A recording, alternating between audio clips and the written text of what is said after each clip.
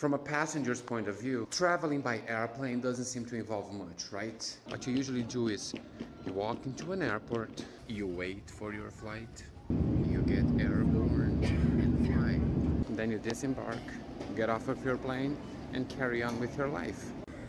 Not too complicated, right? But behind this simple embark, fly, disembark, carry on, there's a whole lot of money that was put towards making an airport work. When you look around, it's just mind-blowing.